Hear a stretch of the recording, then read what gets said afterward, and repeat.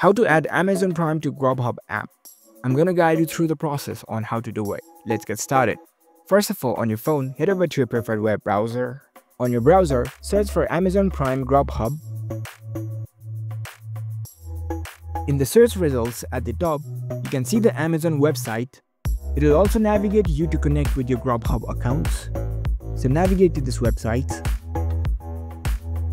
It will take you to your Amazon account first.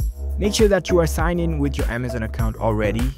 As you can see here, you are in the Amazon Prime and Grubhub collaboration page. From here, you can add your Amazon Prime to Grubhub accounts. You can tap on this continue with our Prime option.